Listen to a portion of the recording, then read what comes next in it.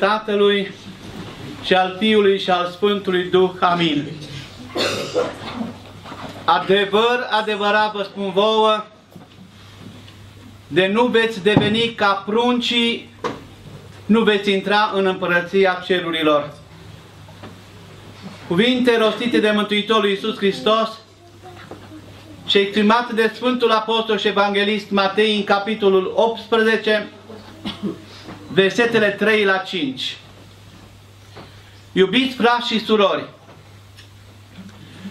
cu ajutorul lui Dumnezeu am ajuns să fim împreună la Sfânta și Dumnezească Liturghie în ultima duminică a anului 2013. Îi mulțumim lui Dumnezeu pentru drumul parcurs, pentru ajutorul și harul dat, pentru binecuvântările pe care ni le-a trimis în anul acesta, pe care ne pregătim ca să-l încheiem. Pericopa evanghelică ce s-a citit la Sfânta Liturghie este cea pe care am citit-o și a doua zi de Crăciun, când am prăznuit soborul Maicii Domnului. Atunci a fost vorba, ca și acum, despre pericopa cuprinsă în Sfântul, la Sfântul Evanghelist Matei, capitolul 2, începând cu versetele 13 până la 23. Despre ce era vorba atunci și am vorbit a doua zi despre faptul că Mântuitorul Iisus Hristos de mic a trebuit să fugă din fața tiranilor, a trebuit să fie atent la viața lui, iar părinții l-au ocrotit și Dumnezeu a fost cu el în calitatea lui de prunc, de om și fiu al omului, el a trebuit ca să petreacă în exil primii ani ai vieții sale. Și apoi l-am văzut pe Mântuitorul Iisus Hristos ca cel care împlinește Scripturile. El a fost amintit că va fi trimis în Egipt și în Egipt va fi chemat înapoi și se va așeza apoi în cetatea Nazaretului ca să se împlinească ceea ce s-a spus prin prorocul când Nazarinean se va chema. Vă aduceți aminte atunci când Mântuitorul Iisus Hristos a fost răstinit pe cruce. S-a scris o tăbliță. Iisus Nazarineanul, regele iudeilor. Și mulți au fost împotriva acestei inscripții, dar ei, în chip de blasfemie, i-au adresat această titulatură tocmai ca să râdă de el. Iată, s-a făcut pe sine rege al iudeilor și moare ca un ticălos, ca un răufăcător spânzurat pe cruce. Vedem că în planul lui Dumnezeu lucrurile se întorc și sunt invers așezate.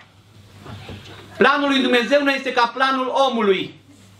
Dacă la om planul după mintea lui înseamnă victorie, de multe ori această victorie înseamnă de fapt înfrângere. Și atunci când de fapt tu ești înfrânt, înseamnă înaintea lui Dumnezeu victorie.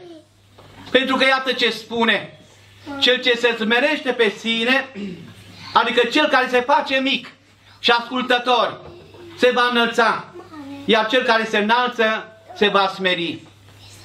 Iubiți frați și surori, astăzi, de fapt, azi noapte și săptămâna aceasta m-am gândit ce să vă spun dumneavoastră în această duminică în legătură cu pericopa evanghelică pe care am citit-o acum.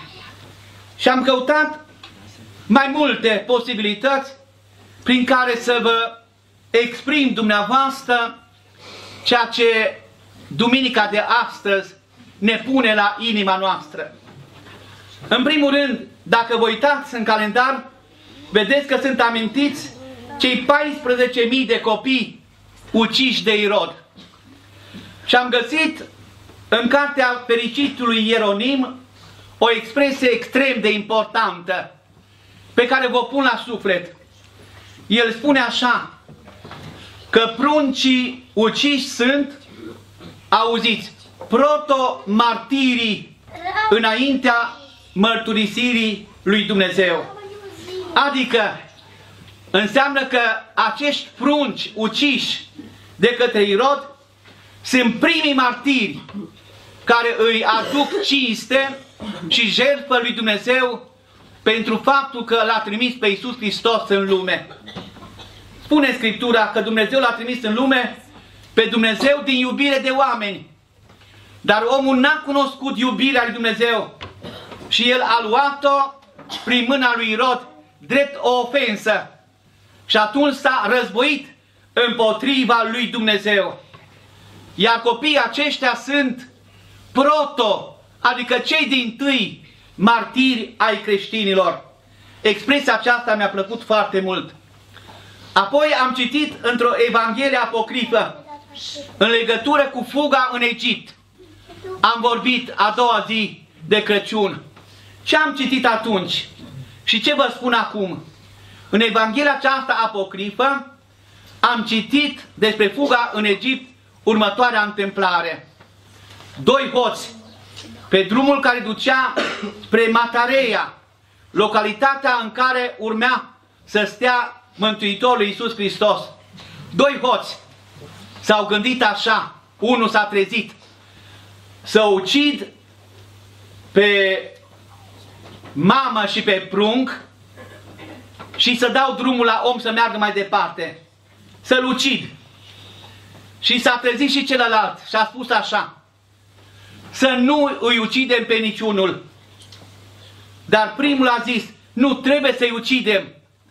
Și a zis cel de-al doilea, uite, îți dau 30 de arginți, numai să nu-i ucidem pe aceștia, să le dăm drumul. Și atunci s-au gândit ei, așa, mai la vale existau încă 40 de hoți care așteptau pe oameni la drumul mare să-i jefuiască, să-i omoare, așa cum citim în pilda pe care o spune Mântuitorul Iisus Hristos, cu omul care a căzut între tâlhari, care l-au dezbrăcat, l-au rănit, lăsându-l abia viu. Și s-au gândit ei, dacă, s-a gândit unul, dacă eu voi primi cei 30 de arginți și aceia nu se vor trezi, înseamnă că eu dacă voi împărți banii 40 de hoți, 30 de arginți, îmi vor veni mai puțin bani. Așa că facem pe tăcere totul și mi se cuvine mie totul și voi salva pe acești oameni. Întâmplarea, spune Evanghelia Apocrifă, face ca cei doi hoți să fie cei doi tâlhari care au fost răsigniți cu Mântuitorul Iisus Hristos pe dealul Golgotei. Unul a fost răstignit de-a stânga, celălalt a fost de-a dreapta. Cel care s-a pus chezaș ca să nu fie ucis este tâlharul cel de-a dreapta, care a fost iertat de Mântuitorul Iisus Hristos atunci când a spus să mă pomenești, Doamne, când vei veni împărăția Ta. Și Iisus Hristos i-a spus, amin zic ție, astăzi vei fi cu mine în rai. Iubiți frați creștini, Istoria are tâlc și înțeles. Istoria are început și sfârșit. Începutul istoriei noastre stă în Dumnezeu, în Isus Hristos. Ia vedeți, oamenii aceștia care au fost prezenți la nașterea, la fuga în Egipt a Mântuitorului, a Sfintei Familii, oamenii aceștia s-au mai întâlnit cu Mântuitorul Iisus Hristos încă o dată. S-au întâlnit la sfârșitul vieții lor. Spunea Părintele Arsenie Boca, Sfântul nostru, cu mine trebuie să vă întâlniți de două ori. Prima dată te întâlnești ca să spun ce trebuie să faci. Și spunea Părintele cuvânt de învățătură. Și a doua oară nu-ți mai spunea. Pentru că exact ca la pateric, după ce ascultai cuvântul Părintelui Duhovnicesc, trebuia să trăiești o viață întreagă să-l împlinești. Nu să tot adun cuvinte, Cuvinte pe care nu le împlinești niciodată. Și spunea părintele, a doua oară vă întâlniți cu mine la judecata de apoi. Atunci voi fi de față și voi vedea ce ați împlinit din cuvântul meu. Eu voi fi martor înaintea lui Dumnezeu pentru voi. Așa s-a întâmplat și de fapt asta este istoria. Cu Dumnezeu te întâlnești decisiv în două momente. Un moment pe care ți-l pune direct în față. Și dacă știi să te folosești de momentul acela, e bine. Dumnezeu spune în față viața și moartea. Ești liber să alegi ce vrei tu. Numai că a doua oară când te întâlnești cu Dumnezeu, te întâlnești în scaunul de judecată. Și te va întreba, ce a ales? De fapt, știe. Va trebui să răspunzi tu, am ales calea aceasta. Și atunci te va judeca conform regulei din calea aceea.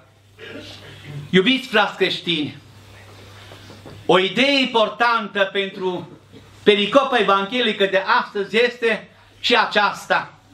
Ce oferim noi copiilor? Pentru că Mântuitorul Iisus Hristos a fost copil. Să știți că a avut toate ale prunciei. Spune Sfântul Evanghelist Luca, copilul creștea și se întărea cu Duhul. Copilul lui Iisus Hristos a fost asemenea tuturor copiilor. Numai că atunci când a mai crescut, a crescut în vârstă, în an, copilul acesta și-a asumat mesianitatea, rolul de Mesia, rolul de conducător spiritual atunci când Ierusalim, în Ierusalim, în templu, răspundea cărturarii și fariseilor cu o dezvoltură nemai întâlnită. Noi ar trebui să oferim copiilor noștri de astăzi mai puțin televizor și mai multă lectură. Din nefericire am auzit în emisiune la televiziune și am citit în presă când copiii cereau de la părinți tablete, să le aducă internet, să le aducă instrumente din acestea prin care ei să-ți desfăteze văzul și auzul. De fapt, să se destrăbăleze moral. Noi trebuie să le dăm copiilor mai puțin internet, mai puțină televiziune și mai multă lectură. Pentru că fără lectură nu putem să cunoaștem.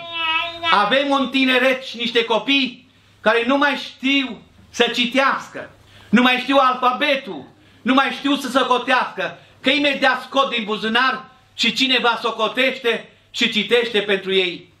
Le dă o lectură gata făcută, o lectură preconcepută, le dă niște idei, internetul pe care nu au la ce să le folosească. De fapt, noi ce le oferim tinerilor? Și am văzut în emisiuni, mai ales în săptămâna aceasta, dar m-am gândit la anul pe care ne pregătim să-l încheiem. Noi le pregătim copiilor și auziți, este senzațional. Copii de grădiniță serbează rebelionul. Copii din clasa 1, clasa 0, am văzut prin părinți, prin dascăli, serbează sărbători nemai întâlnite. De fapt, noi le oferim copiilor în loc de lectură un rebelion perpetu, noi le oferim copiilor un rebelion și o petrecere fără de sfârșit, condimentat de multe ori cu narcotice vaporoase și mai ales îmbrăcat în straie impudice și absurdități etilice. De fapt, acesta este sortimentul pe care îl oferim copiilor. Am auzit, mi-a fost dat să aud și lucrul acesta, niște tineri veniți din străinătate, chipule din străinătate, români de-ai noștri, în țară, nu mai suportă mesajul colindelor și mai ales ritmul lor. S-au dus în uh, baruri și în discoteci ca să audă ritmul de muzică metalică, drăcească, deapolească, ca să zvâgnească sângele în ei și să nu mai aibă niciun respect față de nimeni și de nimic. N-am auzit în promovările la televiziune și în mass media noastră că este nevoie de un ecologism spiritual.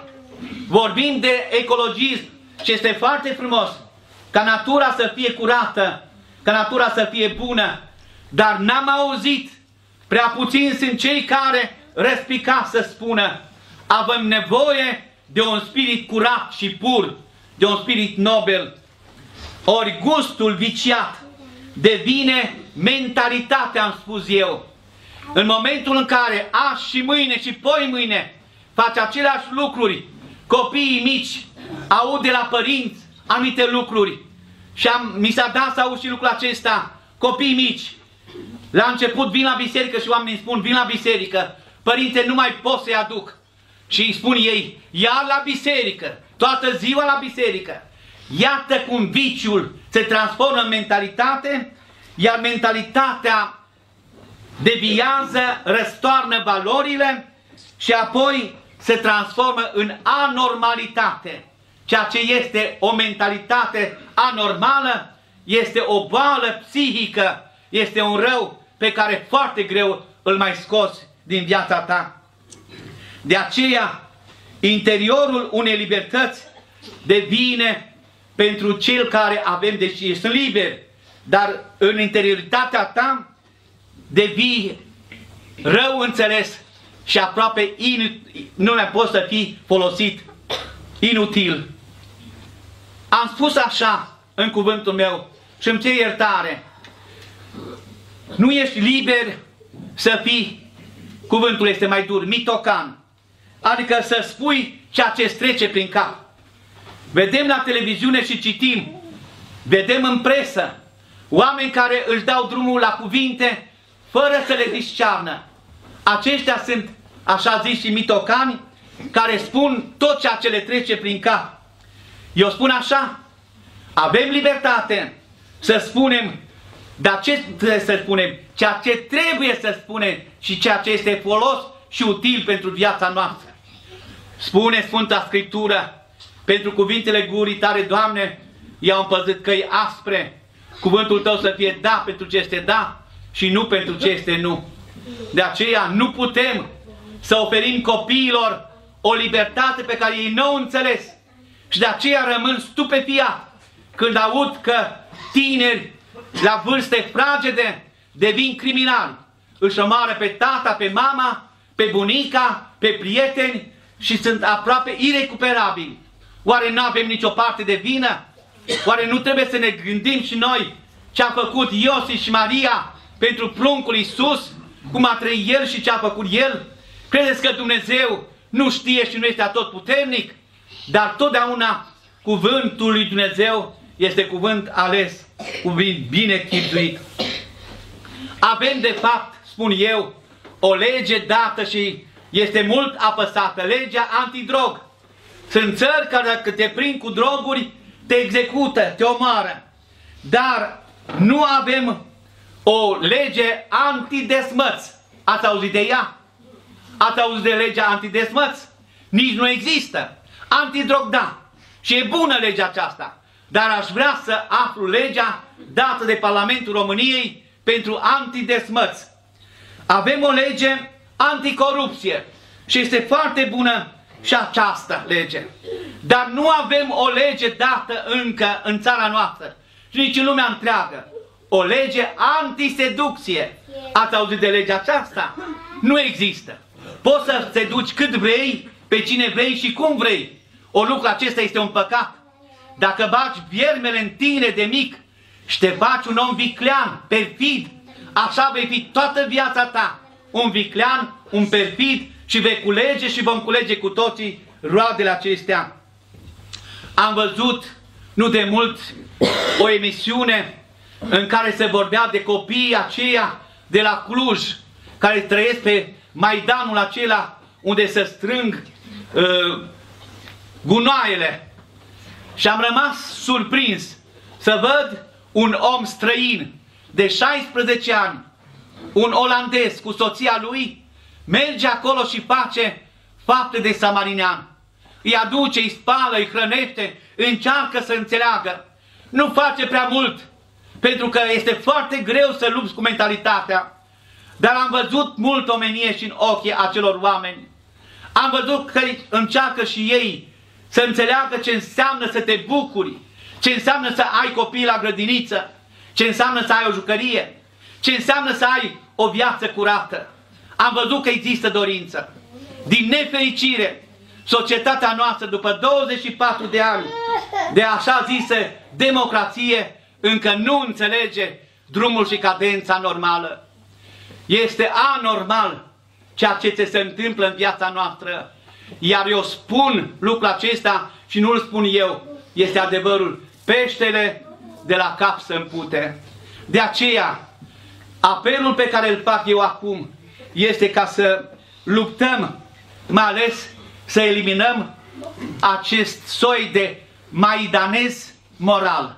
Așa l-am numit eu. Adică câini de aceștia care nu au nimic, nimic, sau moralitatea creștină este pusă la colț. S-a transformat și se transformă biserica într-un SRL. Biserica este o instituție care să strângă bani sau să facă impresie sau ceva care să conteze la imagine în afară. Ori nu se poate lucrul acesta. Biserica este divină umană. Biserica este locul în care te întâlnești cu Dumnezeu, bogat sau sărac, flămând sau sătul. Aici trebuie să-ți găsești cadența spirituală a vieții tale. Iată câteva idei pe care am dorit să le exprim acum, la sfârșit de an. Avem mult de lucru. Dacă se întâmplă ceea ce se întâmplă, este și din cauza noastră. Tinerii și-au pierdut busola. Nu toți. Nu poți să-i bași pe toți în aceeași oală. Dar în vasii totalitatea lor, din nefericire nu mai sunt decât foarte puțini. Dacă te duci într-o facultate, într-o instituție, dacă te duci într-un oraș și cauți pe tine în biserică și te duci la discotecă sau în altă parte, îi găsești. Îi găsești. Dacă le pui o Biblie în mână sau rugăciune, nu știu cât citești și se roagă. Dacă le pui altceva în mână, toți au și se bucură de tehnică și suntem mândri. Aproape toți copiii au telefon. Sigur că nu sunt împotriva telefoniei. Este un mijloc de comunicare. Dar oare au ei nevoie neapărat? Oare ei înțeleg lucrul acesta? Au ei rezultatele morale și intelectuale adecvate? Ne-am interesat noi de profunzimea, de așezarea lucrurilor în matca lor? Cu siguranță că nu. Toți avem să ne reproșăm de la mine, de la vlădică, cum se spune, și până la o pincă, de sus și până jos, avem de îndreptat multe lucruri. Aș dori ca anul care vine, 2014, să ne găsească mai puternici, să ne găsească mai atenți la ceea ce se întâmplă cu viața noastră și mai ales să ne determine voința care să merge, care să meargă pe o cale bună către Dumnezeu. Amin. Mărire Tatălui și Fiului și Sfântului Duh. Amin.